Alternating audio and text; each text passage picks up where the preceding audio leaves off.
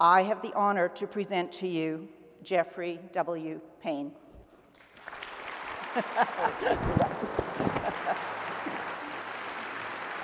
I feel when I look back that I've grown up on this campus. Uh, I came here as a very, uh, a very young 34-year-old, uh, feeling full of energy and spry, and now here I am, going to turn 53 next year. There are no words that can truly say how fortunate I have been to have the people that I've had. Whoa, I didn't think that was going to come. Uh, have, have had in my life's journey and, and then having my wife that will robe me with the presidential robes and how we've been together for 30 years and how important she was in my own personal journey.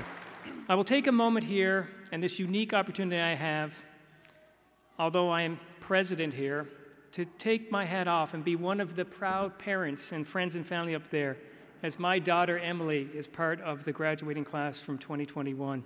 So that's, that's special for me as a proud dad.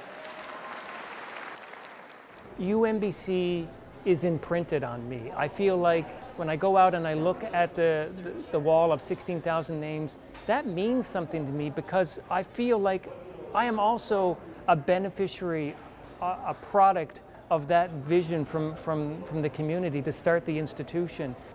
When I think about where UNBC is going and where the landscape of higher education is going, it's going to be still so important to go back out into communities, to validate the 30 years of work we've done to ensure that we are, we are still holding the vision accountable to what, they, what the community wanted for this institution.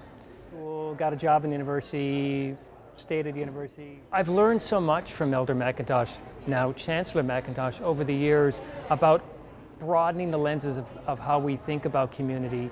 And so I'm excited to continue to learn from her.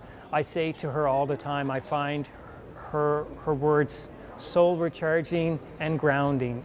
Let us shower the world with peace so that our graduates find their place and shine in this world.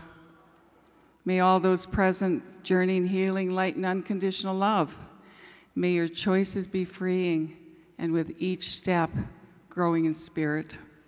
I want to close with how honored I am to be your president.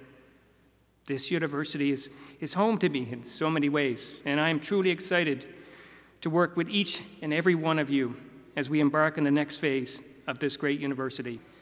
I want to thank the university community for trusting me to be your president, and let's roll up our sleeves and get to work. Thank you.